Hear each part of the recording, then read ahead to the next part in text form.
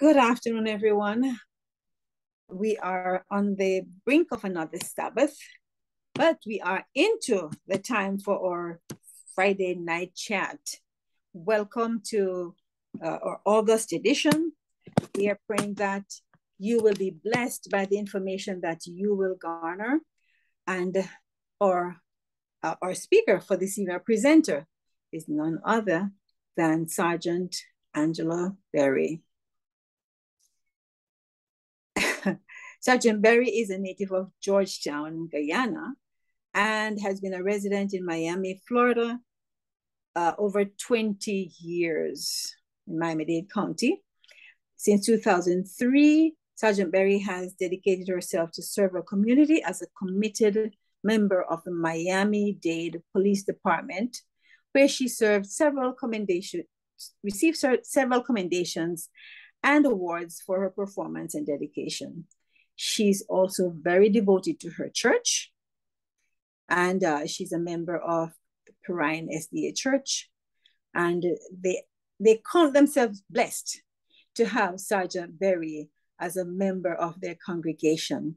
And tonight, we are blessed to have her speak to us and give us some information. And as a matter of fact, she would love for us to speak with her so I'm going to turn it over to her, but I'd like to just let you know that if you have questions, if you have comments, please use the chat. And that is how she will get the information. That is how she'll get your questions. That's how she'll get your suggestions. So please use the chat as we go along. Welcome everyone to this meeting. Again, I pray that you will be blessed, doubly blessed, as we um, engage in this session together. And so at this time, as we are going to turn over to Sergeant Berry, I will ask Sister George to pray or opening prayer. And after that, it will be in Sister Berry's hand. Thank you. Let us pray. Eternal Heavenly Father, we are so appreciative of the many blessings that you have brought our way during the course of this week. And tonight we have gathered, dear God, to just be fed once more. We thank you for providing individuals, capable individuals who will help us understand, dear God, um, what it means to be abused, how to identify those things, because as your children, you do not want such means for us, dear Father God. So we thank you so much for this opportunity. Thank you for the Sabbath day where we can rest from all of our cares, of all, all our labors, dear God. And as we are about to go through this meeting, I pray that everything will be that will be said will be directed from on high, I pray in Jesus' name. Amen and amen. Amen. Amen. So here we go. Good evening. Uh, I don't know all the, there are many churches on here. So I just want to say good evening. Thank you. Happy Sabbath. Shabbat Shalom. It is a blessing to be here uh, with, with you all this evening, and we are going to share information. Um, I'm going to do a, a, brief overview. As you know, the, uh, this year we're dealing with abuse of power. And so I'm going to go through abuse of power in the church and also abuse of power that can be found in the family or home setting. I'm going to be brief um, because I really want to leave it open to um, to discussion, okay, and, and questions so that we have more of a um, uh, discussion period together, if that's okay. I'm getting some questions on my on my screen. Should I be admitting people, Sister Davis, or or you're doing that? we, we we're going to look at we're going to look at the questions and we will send them to we will yes read read the ones that um yes that we we want you to be answered right now. Okay all right. so let's begin. Let's begin. So um Ellen White makes this statement where it says many who profess to be the ministers of Christ are like the sons of Eli who ministered in the sacred office and took advantage of their office to engage in crime and commit adultery. causing the people to, con- to transgress the law of God, and fearful account will such have to render when the cases of all shall be passed in review before God, and they be judged according to the deeds done in the body. As I said before, this year's emphasis for End It Now is on abuse of power, which is a very important um, area of abuse that we need to speak of because abuse is about power and control. So there's several writings and and um, sermons and presentations that was sent down by the General Conference to address the topic. Um, I'll be referring to a few of those during our discussion this evening. So first, let's clarify that power can be abused by any person in any position. Um, this evening, we'll focus again on power that's found in the church when we find the abuse of power in the church, as well as that is found in the family or the home. Regardless of who is perpetrating this abuse, it's still abuse, okay?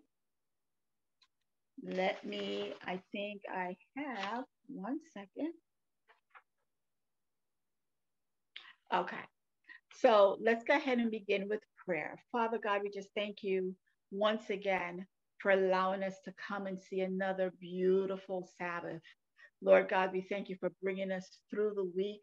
There's those that we know that may not have made it. This was a difficult week for so many of us. But Father God, we're still here. There's still work for us to do. And so we thank you, we praise you, we honor, glorify, and magnify you this evening as we come to discuss something that that we know hurts you as our Father, as we hurt and abuse one another. Lord God, help us to learn your will and your way. Be with me now as I speak. Holy Spirit, please speak for me and through me. In Jesus' name we pray. Amen. Mm-hmm. Abusers will use different types of abuse for their intended victim. It doesn't matter whether the abuse, the abuse is physical, emotional, economical, sexual, spiritual, it's all abuse.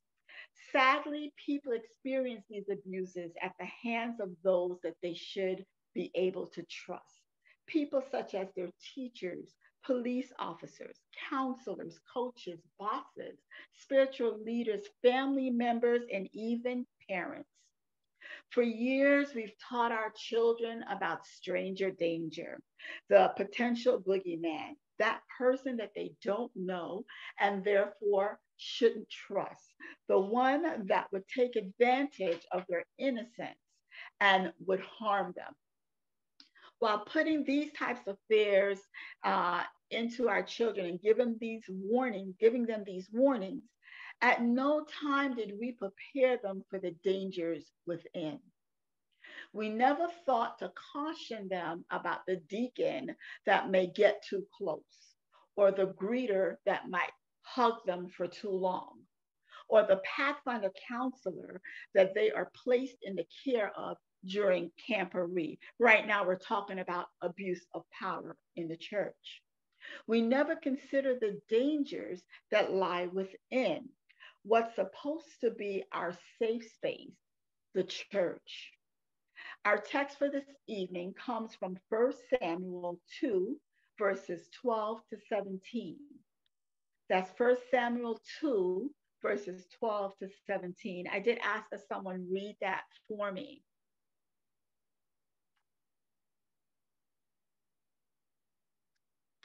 When okay. someone I don't I don't I don't think she got the message, so I'm gonna go ahead. Sister Thank Freddie, you. Sister Freddie, did you see my message?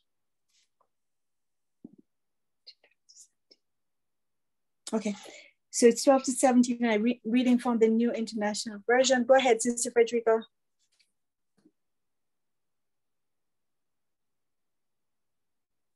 Okay, she's not. Okay. Mr. Frederica? I can give her, I can give her okay. one of the other verses if you yes, want to okay. that one. Well, to 17, I'm going, I'm going ahead. Eli's sons were scoundrels. they had no regard for the Lord. Now it was the practice of the priests that whenever any of the people offered a sacrifice, the priest's servants would come with a three pronged fork in his hand while the meat was being boiled and would plunge a fork into the pan or kettle or cauldron or pot. Whatever the fork brought up, the priest would take for himself. This is how they treated all the Israelites who came to Shiloh. But even before the fat was burned, the priest's servant would come and say to the person who was sacrificing, Give the priest some meat to roast. He won't accept boiled meat from you, but only raw. If the person said to him, Let the fat be burned first, and then take whatever you want, the servant would answer, No, hand it over now. If you don't, I'll take it by force. Verse 17 This sin of the young men was very great in the Lord's sight, for they were treating the Lord's offering with contempt. Have mercy. So, this scripture uh, passage speaks about the evil doings of Eli's sons. Verse 12 reads, and I use the new uh, King James Version, is what I'm going from, is now the sons of Eli were corrupt. They did not know the Lord.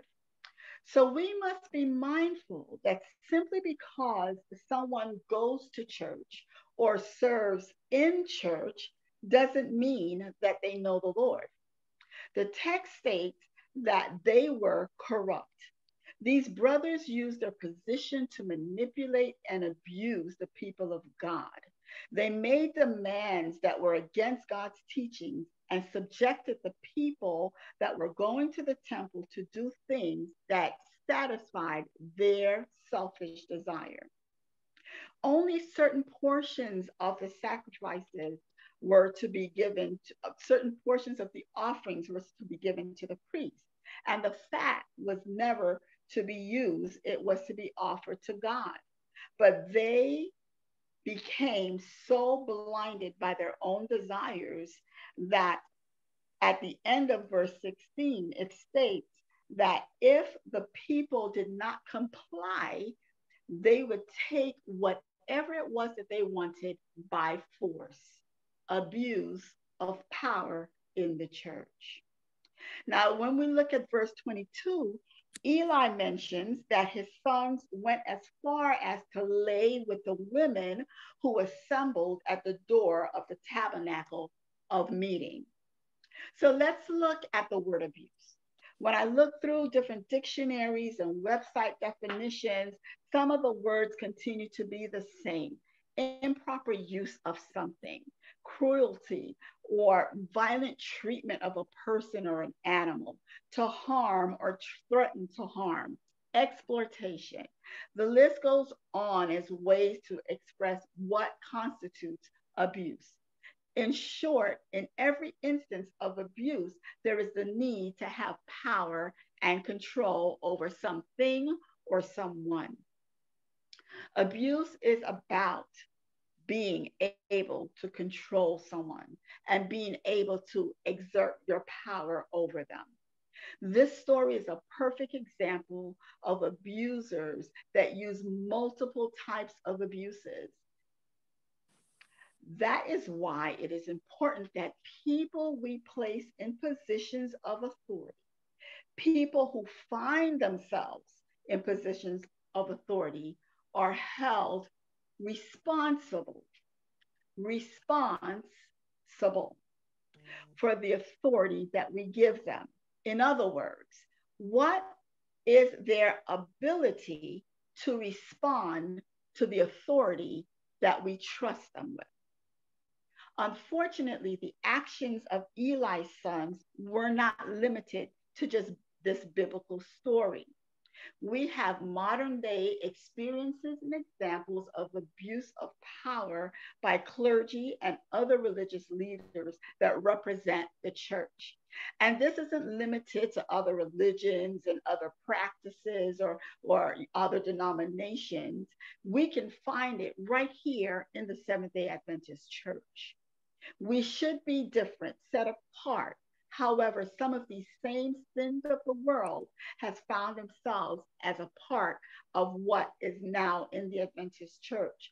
Members that are abusive with their tongues, whether it be to the young people or to each other. Elders, deacons, teachers in our church schools, and even pastors that engage in inappropriate relationships with the members of the church. Some cases that I've that were brought to my attention, some cases that I've had to deal with was as disheartening as sexual relationships with our children. The Bible states in verse 17, therefore the sins of the young men were very great before the Lord. This is abuse of power in the church. Now I'm going to move on to abuse of power that's found in the family setting. And very soon we'll open it up to questions and comments. So there are many ways that power can be abusive in the family. It can be through the control of finances, uh, what someone can wear, where they can go, who they can see, what they what they can eat, act, interact. It can be more violent, such as physical or even sexual abuse.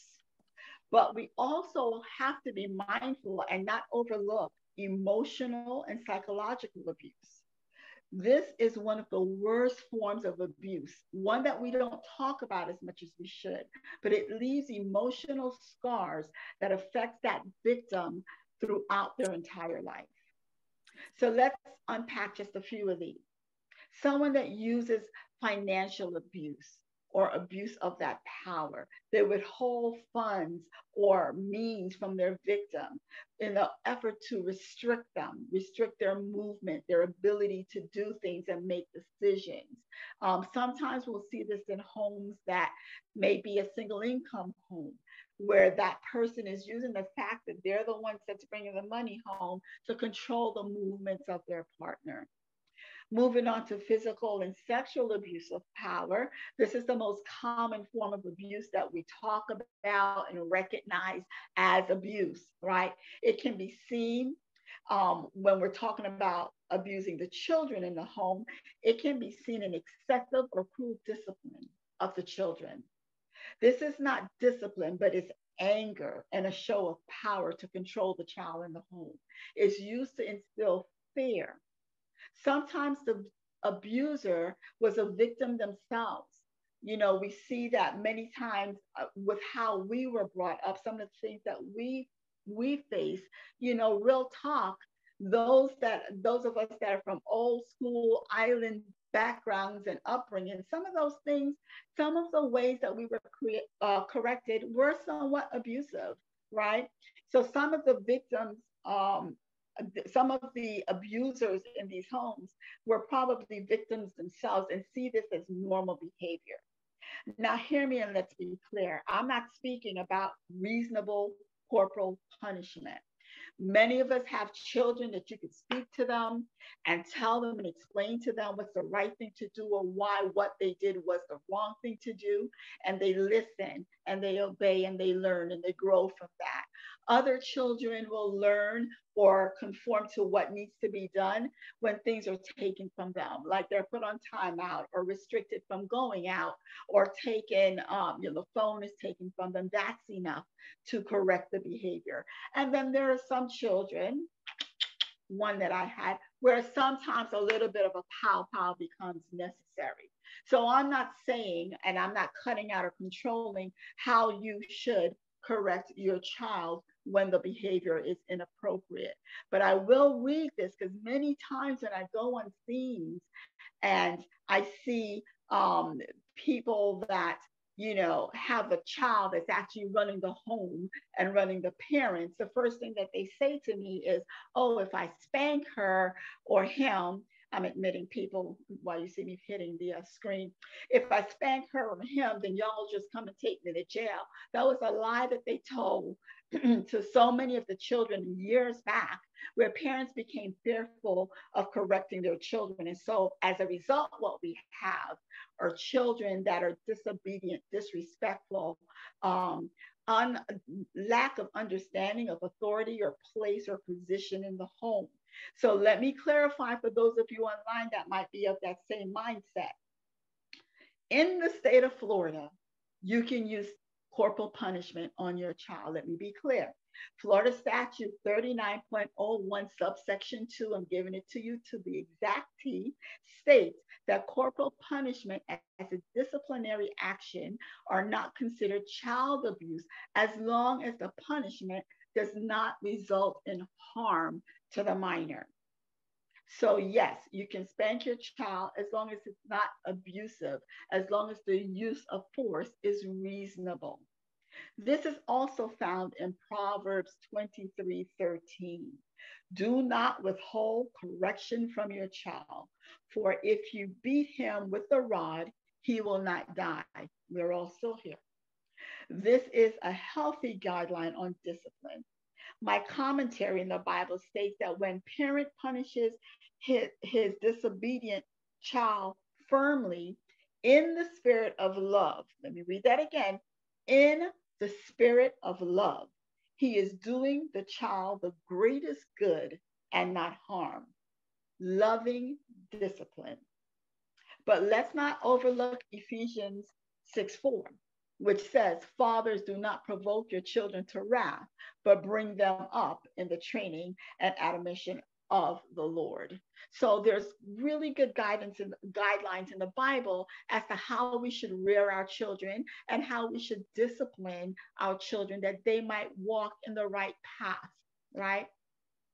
So now, how do we see abuse in the home as it relates to adults?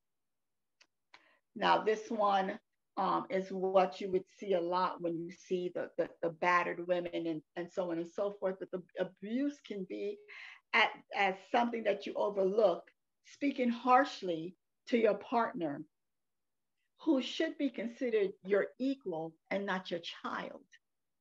Even if you're the only one working in the home, Notice that I'm not putting a sex or a gender to this particular type of abuse because I've seen it on both ends.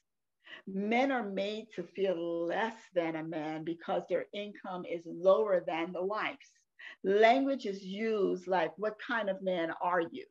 Or you can't provide for this family, or it's my money that's keeping the lights on. These harsh words challenge the man's very manhood that is abusive. Husbands on that side, on the other side, that the man that food be on the table, the children in the house be clean, the homework done on time, and everything completed before they get home. And the wife's hair better be right and her body better be tight. After all, what were you doing all day when I was at work making the money? So come on. If we're going to talk real tonight, we can be very abusive with our words. Now, it has even gotten as bad as far as the abuse in the home or the rights of or, or the, the partners feeling that they have a certain authority or power or control over their wives that we were even caught unfortunately um, at seeing a Seventh day Adventist pastor whose sermon made the social media that suggested, not just suggested, stated that it was okay for a man to rape his wife. This is in the Seventh day Adventist church. So, family, as I close up, these are behaviors that are not only unhealthy, but they're dangerous and they are ungodly. They are far beyond the teachings of the Bible that's found in Proverbs 23 13, what I just read, or Ephesians 6 as it pertains to our children, and the teachings in Genesis 2 23 and 24 that speaks to bone of my bone and flesh of my flesh and the two shall become one right or ephesians 5 25 husbands love your wives just as christ loved the church and gave himself for her so finally, let's heed the words of James 1 19 and 20. Let every person be quick to hear, slow to speak, slower to anger, for the anger of man does not produce righteousness of God. Amen. That is all I have for tonight. I just really wanted to leave it open for questions and comments so we can get into um, exactly what it is that the people attending might want to actually speak about or ask about. Now that I've given a general overview of what power in the church and power in the home can look like. Uh, questions. Okay. Maybe we should um, we can open it, open the um, the line. If yeah. there are questions, if there's anyone who has a question, you raise your hand and we will recognize you and uh, we will go on from there. So are there any questions you would like to ask Sergeant Berry at this time?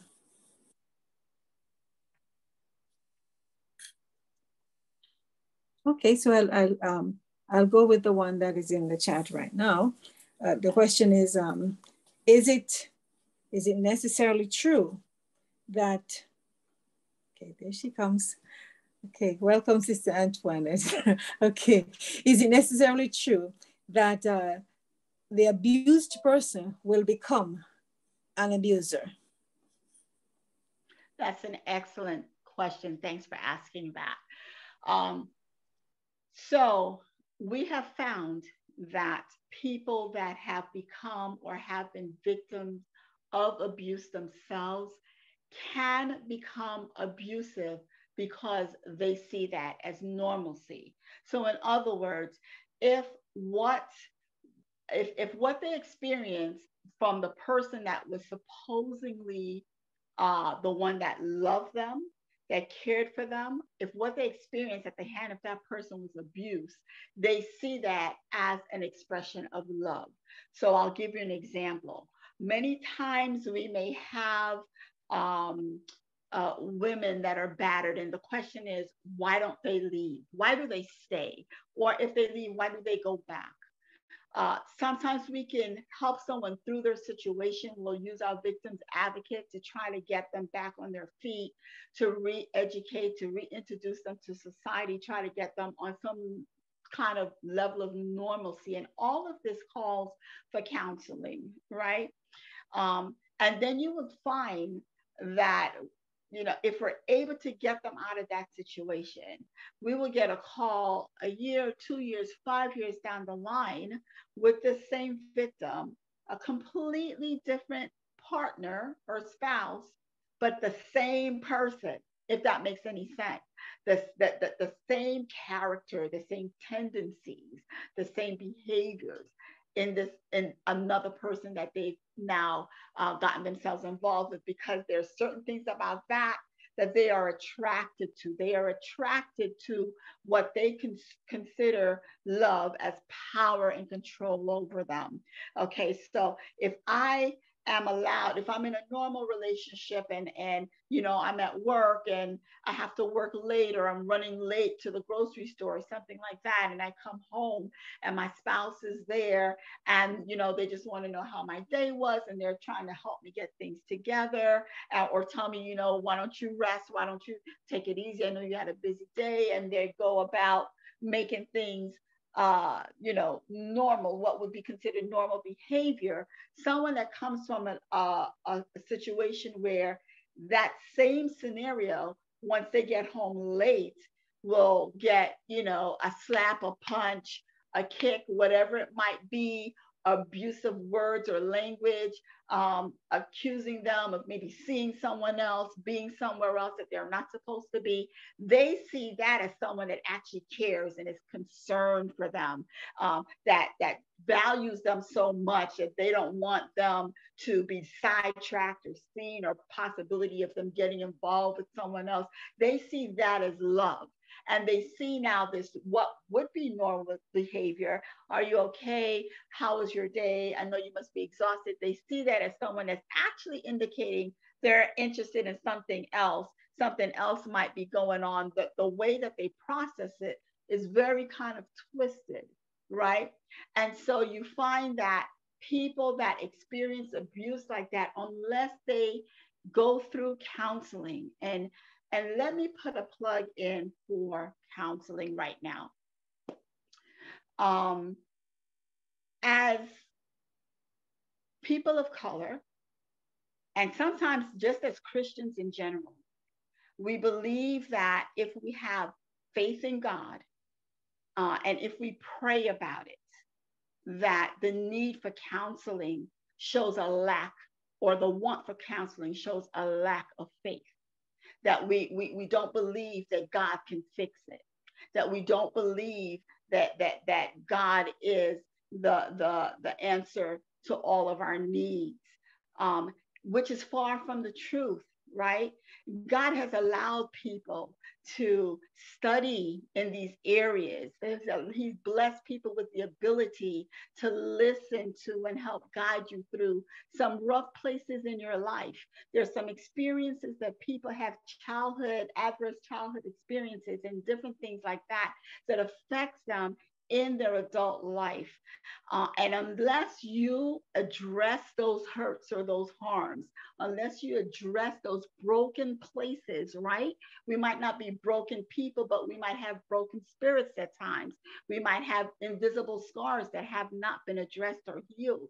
And we bring that into another relationship into an adult relationship, into a parenting relationship, into an intimate relationship and it becomes a problem.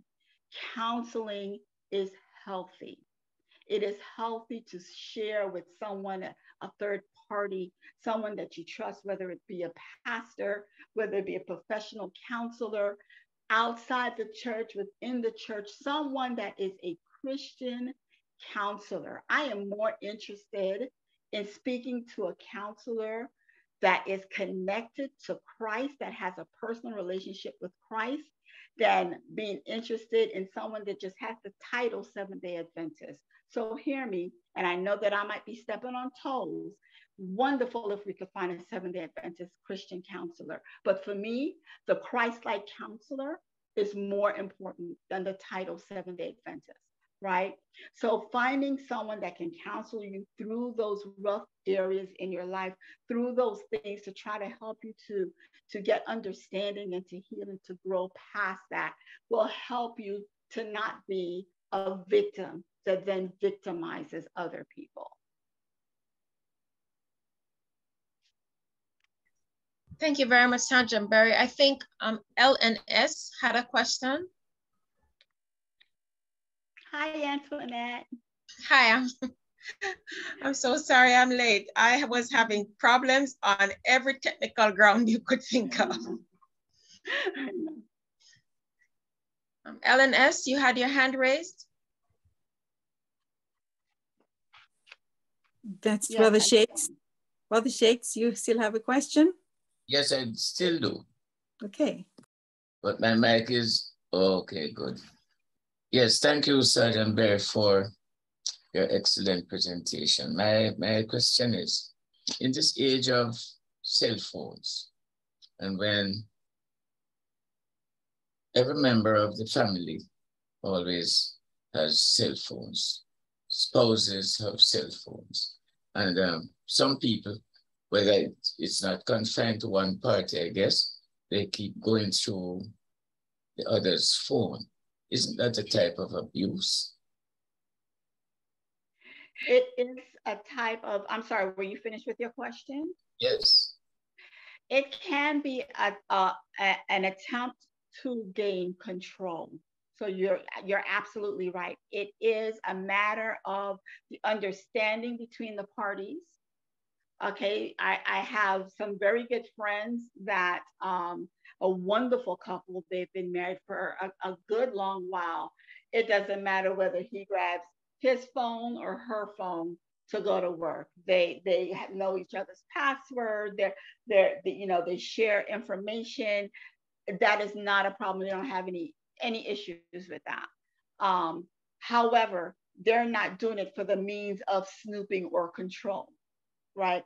So it really depends on the intent of someone going through your phone. If someone is going through your phone for a means of finding out what you're doing and why you're doing it and who you're doing it with, that is a, a, a sign that that person has a problem with power and a problem with controlling you. I oftentimes caution my young people in the dating in the dating experiences, right?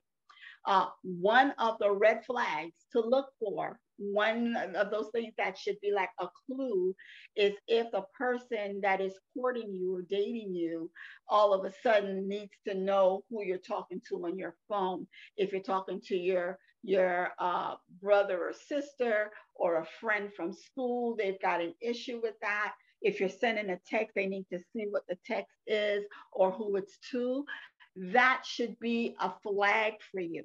You're not talking about a marriage that I'm referring to, a marriage of 20, 30, 40 years, and they just, it, it is what it is for them. You're talking about a new relationship, a relationship that's growing, that you're considering moving into a permanent type of relationship. And already this person is showing indications that there's a trust issue or a lack of trust, right? So someone should not be demanding to see your phone. Um, if your relationship is in a place, again, a mature relationship where you don't have a problem with someone see, you know, looking at your phone or not, that is different than someone that needs to see your phone, that's demanding to see your phone. So yes, that can be an indicator of an abusive tendency and abusive behavior. Thank you, Sergeant Barry. I have a question. Mm -hmm. Are there some atypical ways that an abuse of power can manifest itself? For example, because when we hear the term abuse of power, there are certain vision, there are certain images that readily come to the mind, but I'm sure an abuse of power can look much more subtle so if you could speak to some of those more subtle, more atypical ways that someone can abuse their power. Thank you. Sure. So when you think of abuse of power, oftentimes right away you think of some of the things you've seen on on um, TV with officers abusing their power, right? Or um, politicians using their powers to go beyond what the scope is or to be above uh, the law, that kind of thing. But abuse of power can be something as simple um, as, uh, let's say, um, let's say in, in, in the church setting, someone that, you know, uh, always wants to hold a particular office or has a particular office. And from that office uh, is able to manipulate uh, certain movings or, uh, or, movements in the church. That would be an example of a subtle abuse of power. Oh, this person does this so well, and look at how this program is always organized, or look at how far we've come as a result of this. Um, there's good and bad in that, right? sometimes we have to be careful how many accolades we give people because it can, you know, subtly creep into if if if I if this isn't done this way, if this program doesn't run this way, then I'm not a part of it. You know, that's abusing power because now it backs people into a, a, a corner in, oh my goodness, let's make sure this person gets it exactly how or gets what they want and and and how they want it because, you know, if they back out, what are we going to do? Or something like that. That's a mild case of how power can be abused. Um, or uh, trust, uh, developing subtle trust in people. Um, we've experienced this, the Pathfinder example that I said, where, you know, over short periods of, you know, you know, periods of time of the child being under certain counselors and certain that they develop trust and then certain things that may subtly become inappropriate is overlooked or or or kind of swept under the rug even if the child brings it to our attention. I'm uncomfortable with sister so and so or brother so and so and immediately we defend brother or sister so and so right? Instead of listening to the child let me say this. When someone brings an allegation or a suggestion or a hint of inappropriate behavior or abuse you need to listen to that victim rather than be so quick to defend that possible abuser. Because it can perpetuate something that's actually going on with that person and that person may not be the only one that's been happening to but was the only one brave enough to say this is going on with me. So we as a church have to be very careful of that. Abuse of power in the home. Um, something to the extent of, uh, you know, I'll, I'll, I'll, hmm, I don't want to say parents with kids going off to school because that's kind of like a, a, a touchy uh, subject there. But I've seen where um, it's, you know, you're going to do it this way or else. If you if you don't um, conform to this, then I am not going to make sure that you've got your funds for school or whatever. If you don't work in, in my business or at my store or whatever it might be, then you could forget about me sending you off to school. Whether it's that person's interest or not, that can be an abuse of power. There are other things that's a little bit more um, involved, but remember that the devil is always looking for just a little crack in the surface to seep in. It doesn't take a whole lot for him to get into something where we have created an environment that allows for his wickedness to prevail, right? And so, um, I don't know, were you thinking about something in particular? I do have a particular instance in mind, but okay. what you said did cover um, some of the things that I would think about. But so since you segued into speaking about children, are there, assuming that we're talking about regular caring parents, are there ways in which parents can speak to their children in order to help them to discern when they're in an, a, such a situation where the power dynamic is shifting in a way that's not favorable for the child? Yes. So if you're a parent that has spent the time to feed into your child, right? Um, where your child is comfortable with coming to you with any with any and everything, which is another dynamic that we as Christians tend to block. If our child our children are not to question anything right? Especially if they're questioning something that might be our beliefs or practices. Um, and so if you have developed the type of relationship with your child where they can come to you with things that's uncomfortable, even uncomfortable for you as the parent, that is very important because then when they are faced with something, you know that they're going to come to you. If they don't have you to speak to, they will speak to someone else.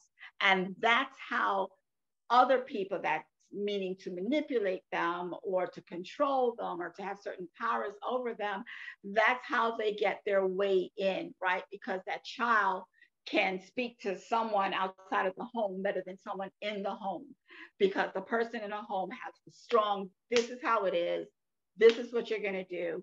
Don't question X, Y, Z about this. It's not a matter about we do this because of this and, and let's discuss why this is why we do this. That's very, very important. And that is a way to help protect your child against that person that's going to take advantage of them, that longing to belong to some place or someone that understands me. We hear that a lot. Thank you. So it seems what I'm hearing is one of the ways in which we can combat abuse of power or the manifestation of abuse of power in the church is to emphasize humility. You gave an example before of someone that has a particular position and tends to use that position to get their way. If there were was humility in that situation, that wouldn't manifest itself. And also, there's a kind of arrogance that parents, including myself, I'm a parent too, that we inherently have in that we must know the right thing all the time. And that doesn't speak humility. So if there is humility being exercised, then you will leave room for a child to express their, their feelings to you so that you can hear what is may not be said because the child may not come forward. So humility and um, leaving, developing a trusting relationship. Yes, yes it's very important that as adults and as, especially as parents, I'm a parent myself, that we recognize when we are wrong, right? We don't always get it right. And one thing that I find parents have a problem with doing is saying, I'm sorry. I'm sorry, I was wrong about that. Or I'm sorry that I didn't allow you to finish that sentence, right? I'm sorry I didn't give you a chance to express yourself. It's okay if we got it wrong. We get many things wrong, right? So why is it that we can't accept that we might have been wrong or harsh in how we responded to our child? That's very important. So yes, humility, having a sense of um, the fact that that or vulnerability, being vulnerable with our children, so that they can see real life. You know this is what this is what happened to me or this is what i experienced. And i'm only saying this to you not because i think you're doing the exact thing but i see some things that i just want to warn you about or want to share with you. We won't share we need our children to believe that we've always had it right that we were born you know blessed and sanctified and you know we are saved we were born saved and we continue to be saved so we don't want them to know our pitfalls, right? But our pitfalls can save them if we develop the type of relationship that that allows for open dialogue. Sister Owita, I think you have a, you have your hand up. Yes, I do. Um, continuing in that vein, I want to ask um, how, okay, is there anything wrong with being as a parent wanting to first know my children's friends before allowing my allowing them to to let's say go uh, on a sleepover, go on a long trip, or anything like that. Is there it can abuse uh, come out of that? Can there okay. be abusive situations in that? Right.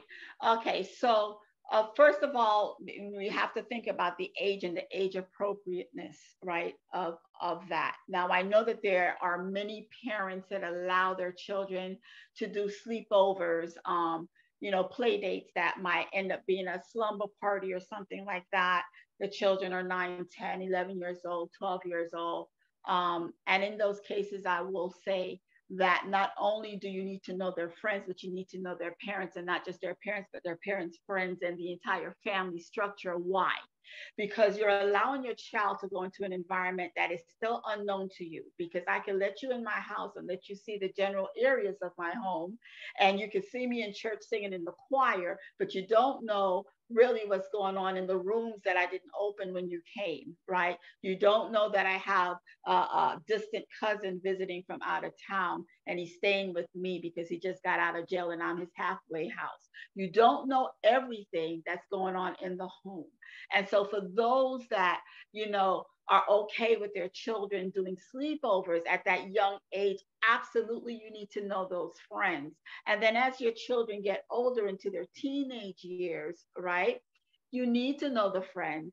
You should again still know the parents because these friends are going to be influencing. Remember uh, that birds of a feather thing, it's real right? And as they grow, they are developing and learning together as children and as their environment permits, right? So, especially here in Miami or just about anywhere now, everywhere has turned to become more and more of a melting pot, right? There are age differences between what we consider uh, age of, of um, um, consent to what other even states in the United States that's considered age of consent. And there are certain states in the in in uh, in the U.S. that age I think is 15 or so is age of consent to decide to marry, or if they're coming from Europe, age of consent for sex, you know, for certain things is much younger than what our age of consent might be, right? Also, the exposures might be different where someone coming from certain areas in Europe, and I'm using that because I remember going overseas to sing with my group. And in us changing, we went to our rooms to change, and the TV was just on, and there was just open sexual activity at three o'clock in the afternoon on just a general channel. And it was nothing. It was like if they were looking at, you know, the Mickey Mouse Club. It was nothing. So now you have a child coming over that's now a part of, you know, your your your child's group of friends, and what they see as normal is something that we see as should be expressed in marriage. So it's very important that you know and understand the backgrounds of the people you allow your child to go in. And, and, and, and I'm speaking very much from an outside space with this because my child is 24 years old. Um, and he was never allowed to go to sleepovers. Could be my profession, what I've seen or whatever, but when my child was that age growing up or whatever, sleeping at someone's house just was not an option for me. You can go hang out, have a great time or whatever, you know, but I'll be picking you up at this time or you'll be dropped off at that time. It just was not an option for me. And it could be because I was in law enforcement and I saw things, you know, you see it in the news, you see the little girl that uh, disappeared and it ended up being the Sunday school teacher. No one thought about it. They saw her going to the house and she was a Sunday school teacher or whatever, and she kept and tortured that little girl and killed that little girl. There's so many examples of things um, that go on that, yes, I'm a little um, biased as a law enforcement officer because of what I've been exposed to, but I also was raised, um, I, you know, in a Guyanese home and sleepovers was just never an option. You, you didn't even ask about it. So um, I know that probably more modern day parents are maybe more open to having their 8, nine, 10, 12 year old sleeping in someone else's home. Um, so if that is where you are, I'm not saying there's anything right or wrong about that. I'm just saying make sure that you know the environment in which you're leaving your child is a, a, good environment, that your child will return to you in the same manner in which they left. Amen. Sister Pat Cutting, I think your hand is up. Oh, I'm, yes, good, good night, everyone. Um, Sister Barry, this was back to your original statement in, in talking to and being open with children, we're speaking from what age? If if you're speaking to them from a young age, it shouldn't be that hard when they turn to 24 and 25 and you know? Exactly. yeah. So you you you it's age appropriate how you you deal with that child and let them know what what is expected, what is not expected they're going to stray. They're going to they're to question because they're in the environment. They're going to see things on TV, on that on that cell phone. They're going to see things, but you you have to be able still to restructure them according to the age group. Yes, yes, absolutely. And if you already developed that open communication with your child, if you uh, if they have the understanding that not everything they bring to you you're going to be happy with um, that there are times that they may disappoint you but you also disappointed as you were growing and learning right? I i still disappoint. I am a forever learner is what I, I always say right? But if you have set certain standards. The Bible says, bring up a child in a way that he should go, and when he's old, he shall not depart from it. If you set certain standards, certain um, um, principles in your home and the child understands why. As that child grows, you will find that there's certain things that they're just not interested in doing. They're not really interested at the end of the day when he goes out or whatever, likes to have a good time, but when he's ready to sleep, he wants to be in his own bed. That was that's that is something that's just him, right? And you'll find that your child will develop um, habits and and and um, characters and, and things like that that is conducive to their well-being and that's because they were taught from a young age that they have open dialogue with their parents and they know that not everything they bring to the parent is going to be yes or not everything they bring to the parent is going to be okay but they're going to understand the whys and at the end of the day pat is right they are going to make mistakes we made mistakes right but right. if they know regardless of what you know i said i, I, I hear this sometimes um, a few times at weddings where the father would say you know if anything happened, remember you have a home, right? Just, you know, you have some place to go to. You don't have to stay in something or, or, or something like that. It's important that our children understand that regardless of what, you go at a college or you go or whatever you do, and if you make a mistake or, or, or you, you, you made a wrong choice or whatever it might be, never be so ashamed or afraid to come back and say, This is what happened, or I need help. Sometimes we put so much pressure on our children to be perfect, to make the right choices, that they said they were going to be a doctor, or they said that they were going to do this or do that. And now, you know, this has happened and and and it's not the path that we wanted for them. It's not the choices that we want. At the end of the day, we could have all the plans for ourselves and for our children as we want, but unless it's what God has planned for their lives and designed on their lives, those are the things that will stick. Those are the things that will last. And those plans might not be our plan. So our children have to be comfortable enough to say, I messed up or I need help and not be afraid to bring that to us, therefore staying in a situation that they don't have to stay in. I'm glad you said that, um, Sergeant Barry, because my child is eight years old. And just a few days ago, she said to me, Mommy, why can I only sleep over at Sister Nicole's? And then I explained to her, I said, because Sister Nicole would do the things that I would do. So with, I know the topic is abuse of power, but we also discussed how we can sensitize our children to being open to speak to us about things and also have a kind of discernment as to when a relationship is kind of off. And I believe that one of the ways in which you do that is to ensure that you, for me, sleepovers as it's only, as she says, it's only with Sister Nicole's family. But outside of that, there are no-no. There are some, hmm. there even with family members. Why?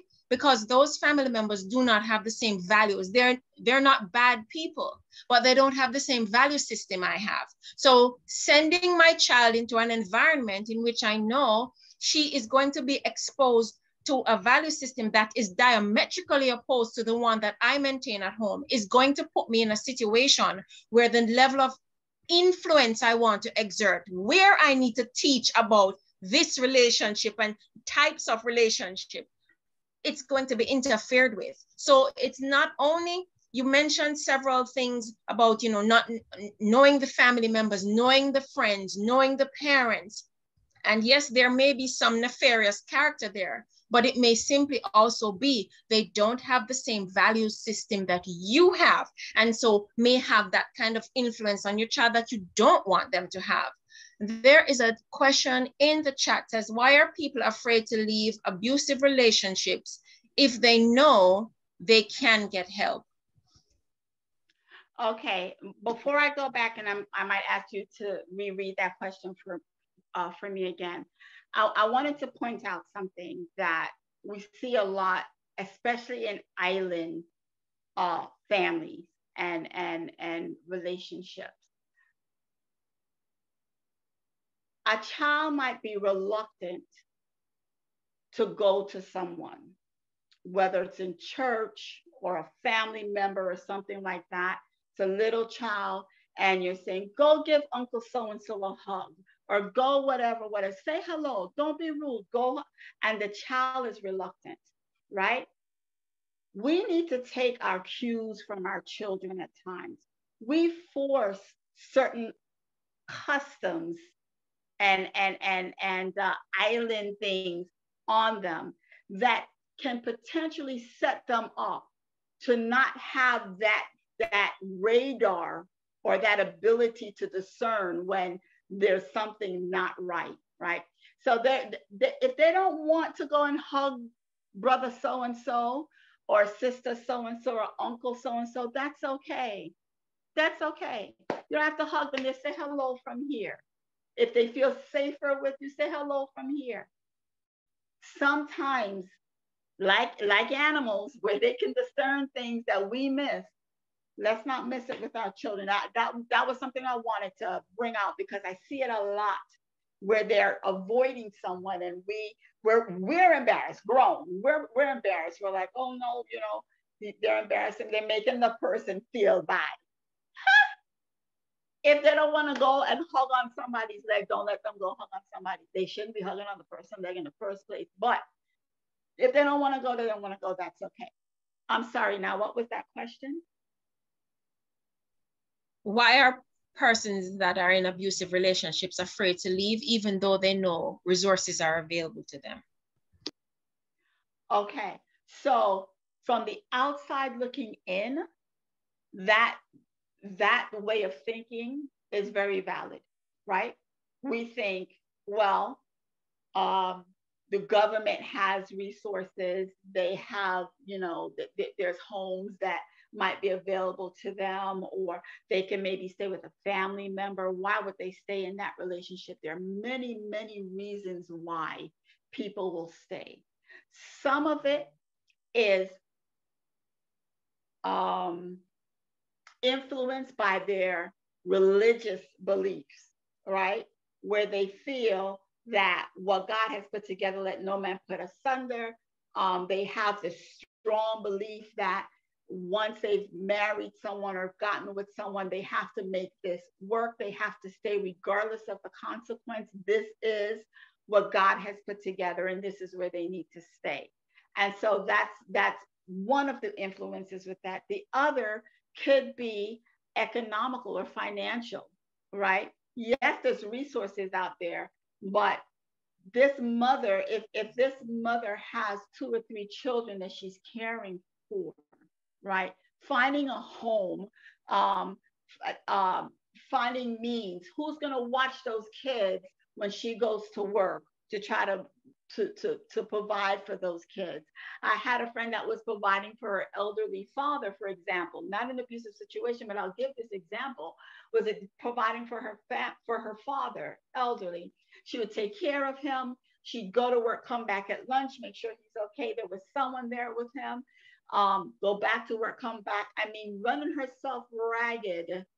Yet DCF went in and said either she leaves her job or they're going to take him out of the home.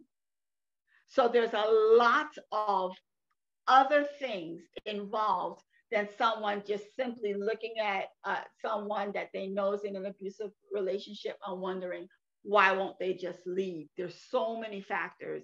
And the best way um, to see what you can do to assist that person is to if you have gained that trust talk to them see what is what what's involved. If they're, of course, in a dangerous situation, then that's very different.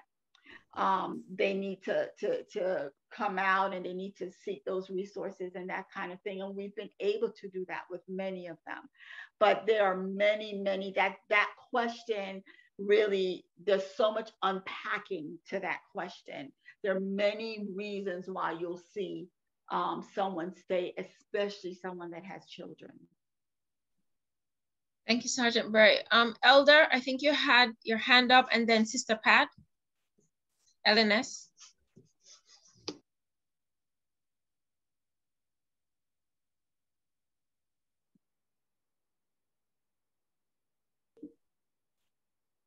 Elder Shakes, are you yes. still there?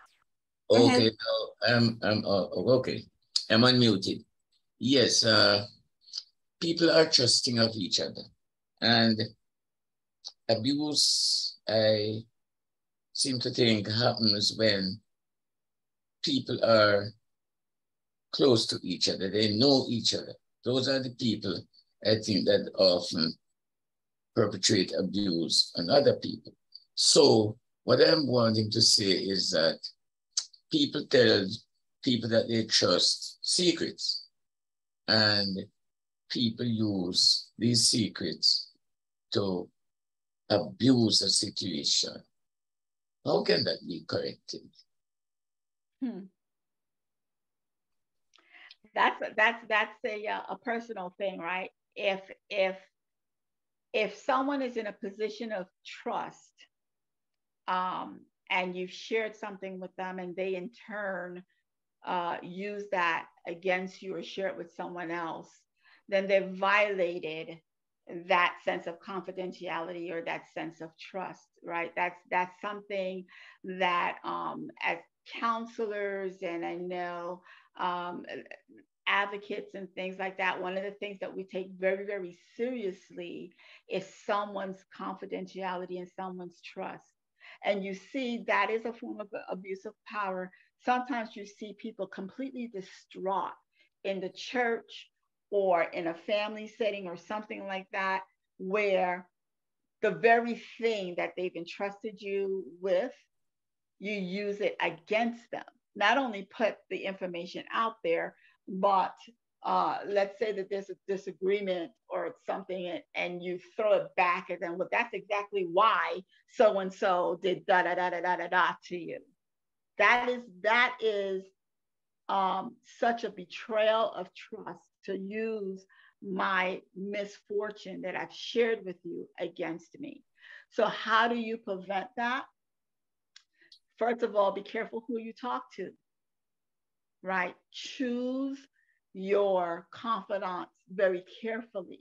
Not everyone you can tell everything to, and I will tell you this as well not everyone you should ask to pray for you, right? So, choose them wisely pray, ask for discernment. God will guide you to who you should go to, not who is, you know, advertised as the person to talk to, but who you should go to. God will guide you to that person. And if if that person has betrayed trust, I will tell you a good way to discern that. If when when you talk to that person, they bring someone else's business to you, that's a clue. That's a clue, right? You need to be able to be confidential in whatever it's saying. Now it's different um, if whatever they bring to you is an example or something to keep you from a pitfall with the permission or understanding of that other person, right? So I know I have a situation of something that happened with one of our officers that was devastating. Um, but she very readily uses her story um, to keep other young officers from falling into the same pitfall that she fell into. So that's different. If now I see someone or some, or the question comes up and I share that is because that's that story or that situation or that experience has been given the red light to yes, if this is going to keep someone else from hurt, please share this story. That's different. So the only way to keep that from happening is for you to have discernment through the Holy Spirit as to is there someone that I can trust? Is there someone I can speak to? You know, back in the day, you would hear that someone brings something to the pastor and it's the sermon for the Sabbath, right? Those, those are all betrayal of trust situations. Thank you. Mm-hmm. Sister Pat. You can hear me? Hello? Yes, we can. Okay. Uh, back to the um, the little analogy Sister Barry, Officer Barry drew as far as the child, you know, the child, um, the parent telling the child to speak to Jane Doe or John Doe. I I experienced that and it and it it went it went hard for me. The the my husband my husband told my son to speak to uh, uh, the, the elder, and he said, I don't feel like, I don't feel like. And the, the elder said, What? Can't have that. And this was outside. And he, he's he, that's rudeness, that's disrespect.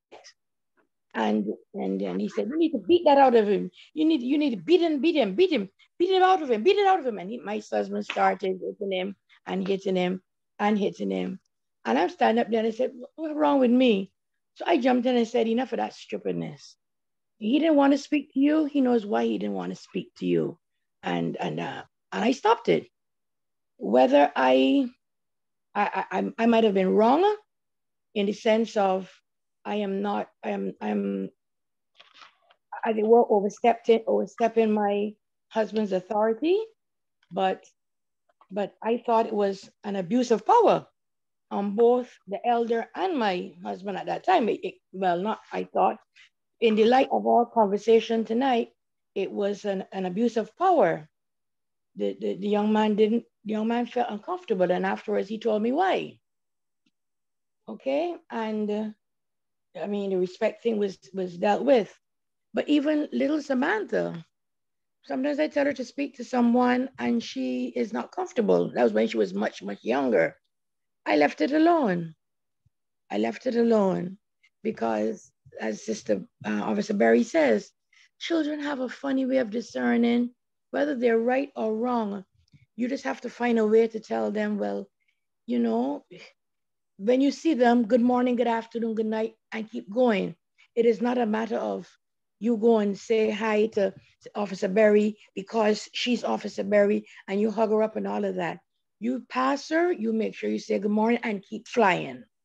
That's so, so they would not say, uh, Samantha is very rude, you know. She passed me and she didn't speak to me. And I've heard that several times. She passed me and she didn't speak to me. Samantha, did you do that? Yes, mommy.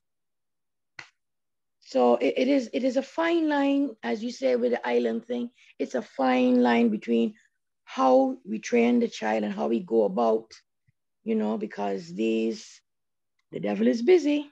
The devil is busy. Devil is busy, and subtly so, he, he can win win them over to just come and sit on your leg and all kind of foolishness subtly.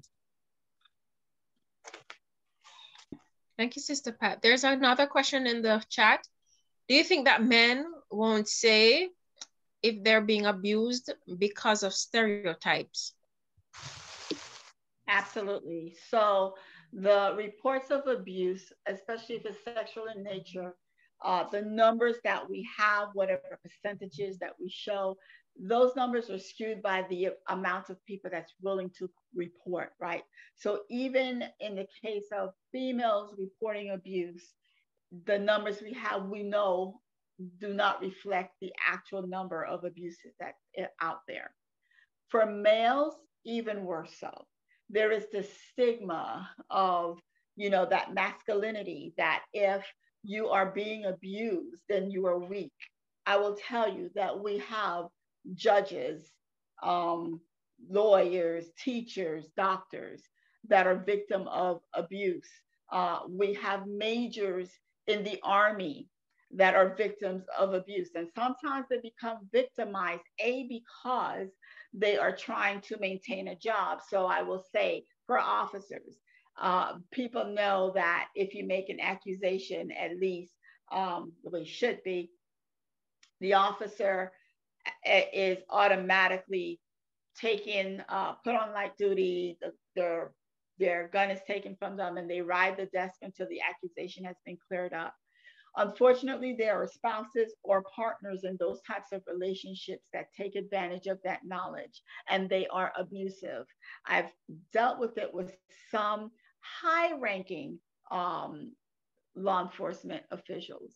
Uh, one actually showed me his back that was completely scarred from the scratching and the and the beating and all of that and because of not wanting that person to go to to their commanding officers they bear it they say nothing um, and it takes encouragement i have to encourage that person to go ahead and report go ahead and show it and make moves that you need to make to, to develop a safe space for yourself.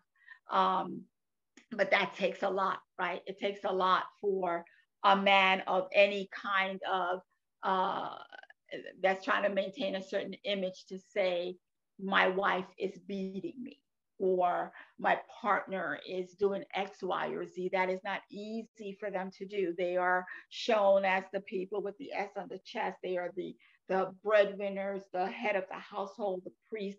All of these, all of these labels that they're given, Pastor did a very great um, example of this. All these labels, all these hats that we wear, right? All these uniforms we put on, all the masks that we wear to mask what's really going on with us, but nothing that we, n- no one can just look at us and know our condition, what's going on inside of us, right?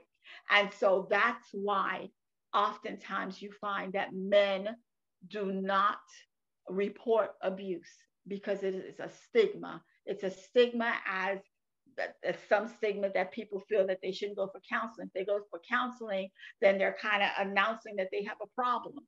No, you go for counseling, you're you're understanding that you want to maintain a, a healthy relationship, a healthy well-being.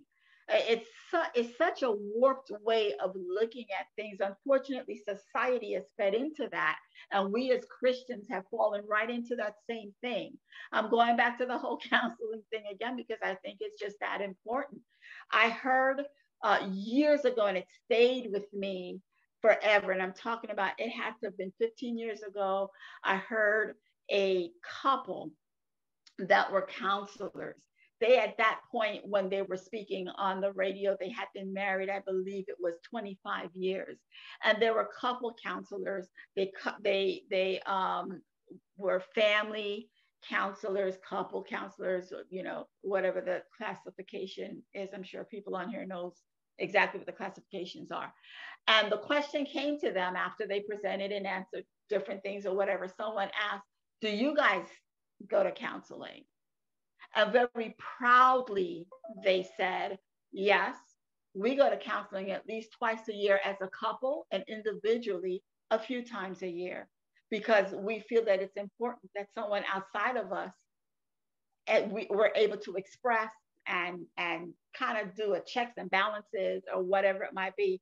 And we have a wonderful relationship. We don't have any issues or anything like that but we see the value in speaking to someone that's outside of this, right? Oftentimes we're in relationships or in situations and things like that, that when we're in it, we don't see it. And everybody else around us, how many of us have seen a friend dating someone or or choosing something that you know is not going to be good and no matter what you say they can't see it right that's the devil putting a veil. That that's the you know that that's the enemy using a situation to blind them to the truth. And so oftentimes when you're in something, you don't see it, you don't recognize it, and it can be a simple adjustment, a simple whatever, but you you never get there, you never see it because you don't seek anyone outside of yourself. Well, I'm praying about it and I'm trusting the Lord and, and, and he will fix it and he will guide me. Or if there's anything, you know, I, I, I am a Christian wife or I'm a godly husband or I'm this or I'm that or whatever. And I'm following thus says the Lord. And Ellen G. White said this and Pastor So said that. But there is so much value in getting counseling, counseling wise counsel. Sergeant Barry, I'm so glad you mentioned about the stigma. I remember when I was 27 years old, I was still living in Jamaica at the time. This is almost 20 years ago. and I was in a relationship that I knew I should not be in. It was a good relationship in terms of how it uh, you know, executed itself, but it, I knew it was not good for me. And I was questioning, why am I still here after I've recognized all the reasons? So I said, oh, I need someone objective to talk to, someone that has no vested interest in me emotionally, right? Yeah. So I sought out a counselor. Someone at my job found out that I was seeing a counselor and then started spreading rumors that I was mad. Mm-hmm. Now, I give that story. When I heard that, I laughed. I actually laughed. And the reason I was able to laugh and I was not perturbed by that at all. So it started to spread. I'm seeing a counselor because I'm crazy. Mm. It didn't stay long because I gave no ear to it. And the reason why I didn't give ear to it is because I had already educated myself on the value of such a thing. Amen. Amen. So I just gave that story to show that it is very important for you to be grounded in principles that you know are beneficial to you so that mm-hmm. when you are seeking these things and they seem so aberrant to everyone else you are still able to stand up on your own principles because you know this thing is good for me yeah very good very good Amen. I thank you so much, Sergeant Bear, for the wealth of knowledge that you've shared, for your perspective, for using your experience to give us this plethora of things that we can think about. And you know, we've been challenged also, right?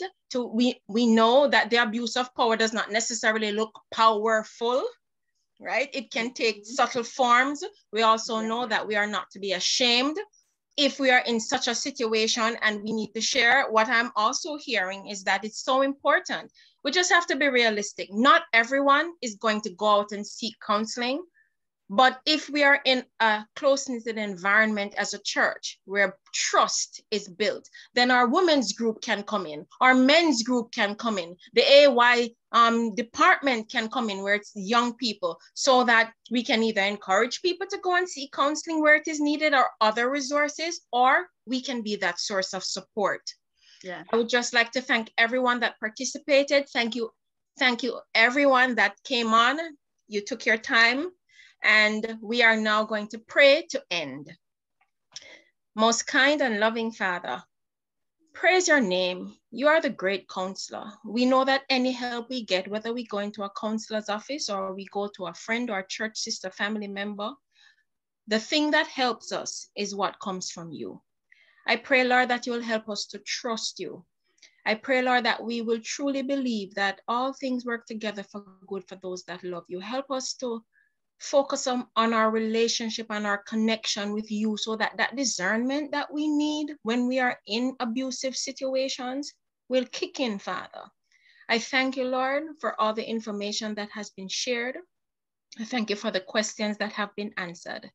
I thank you for the Sabbath, and I pray that you will be with each one of us as we now go to celebrate your name. In Jesus' precious name I pray. Amen. Amen. Amen. Amen. Amen. We continue to say thank you to everyone for being here tonight. Thank you to Sergeant Barry. Thank you, Sister Swaby. Thank you, everyone, for your participation, for your time. And we're looking forward to September. We will be sending out the information for September, and we're asking you, please continue to join us. We will stay relevant and we will keep on giving information so that we can grow. Have a wonderful Sabbath. And again, thank you, everyone. Thanks to our team and everybody. Thank you very much. Have a good night. Blessing. God bless you. Okay. Have a good night.